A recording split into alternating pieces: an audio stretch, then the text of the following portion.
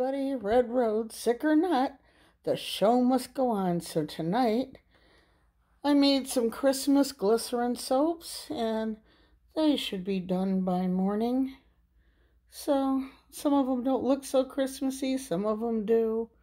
But anyway, there we go. And we'll check them out tomorrow.